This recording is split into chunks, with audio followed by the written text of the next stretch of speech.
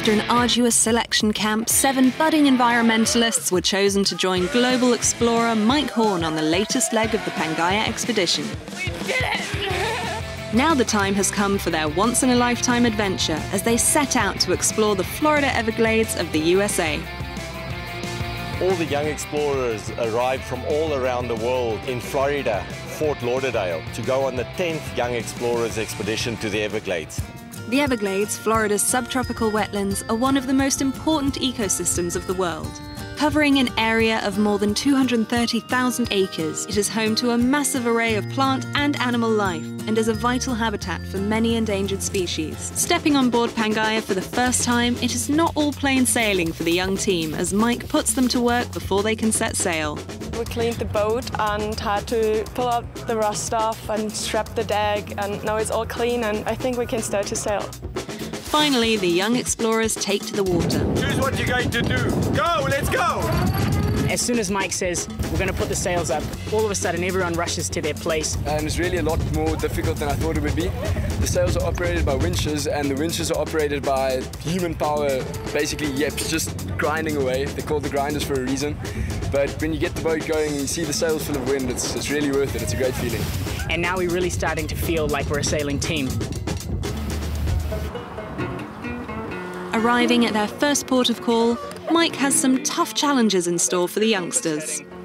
Well, the first challenge for the young explorers would be to do a seven-day kayak trip through the Everglades. I've been on day kayaking trips before, but never an overnight kayaking trip, so this is a very exciting time for me. I think this will be a demanding trip for the young explorers. Paddling for 12 hours each day, the team cover over 200 kilometers of the coast, setting up camps en route and taking part in beach cleanups, removing litter which is detrimental to wildlife in the area. Using kayaks, the youngsters are able to weave between the complex routes and waterways of the mangrove swamps, truly exploring this diverse region. It's really great getting up close to the to the mangroves because it's such a unique type of vegetation. There's so much nature, so much wildlife, and it's amazing.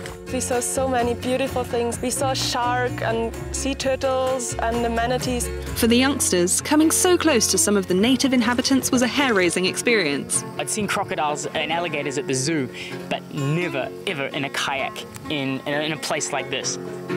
Camping every night among the mangrove trees, the young explorers are hospitably welcomed by some of the more irritating local wildlife. The last night's sleep was pretty good, but when we woke up there were so many mosquitoes. I've had my fair share of mosquitoes in South Africa, but nothing compared to what we experienced here. Everyone's backs were just covered in, in mosquito bites. And we're trying to get rid of them. It's just like a swarm that attack you. I mean, we're kayaking every day. You don't you don't want that, but. After seven challenging days, their kayak voyage through the wilderness is over. I felt so, so tired uh, by the end of it. I really found that I had to dig deep and do it not just for myself. We had to work as a team to get to the end. It's lots of hard work, but we pushed through it, and now, now we're finally here. This has got to be the toughest physical activity of endurance that I've ever done. With the exhausted team safely back on board Pangaea, the young explorers sail 100 miles to Key West for their next adventure beneath the waves. Firstly, however, they paid a visit to the Hidden Harbour Marine Environmental Project, where the Turtle Hospital is helping rehabilitate injured and sick turtles. The turtles they are brought there because of different reasons. For example, they got caught in a fishing line or they were hit by a boat and badly injured by the propeller. So the main motto of the Turtle Hospital is rescue, rehab and release. They try to improve the situation of the endangered species. Known as the diving capital of the world, the young explorers had the opportunity to experience the unique aquatic habitat of the Gulf We of are Mexico. going to explore the coral reef environment, and then they have sank a lot of wrecks along the coast to build artificial reefs.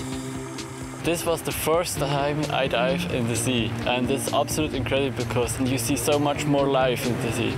Exploring the sunken wrecks was especially exciting for the team. As soon as we got into the water, you just enter this completely different world, and it's like being in the set of a movie or something. First it was kind of scary, but when we finally were in there and saw the tables and all the furniture, it was so awesome. Once we were back up, everybody just, we couldn't stop talking about how amazing it was and what the experience it was and how truly privileged we are to be on this expedition. As the Everglade expedition draws to a close, the team reflect on what has been an unforgettable and inspiring experience. At the end of the day, it all just works together and everything's great fun. It's an amazing experience to, to look back and be able to say that we've done what we've done. I don't think anybody thought that we were able to actually do this. Amazing.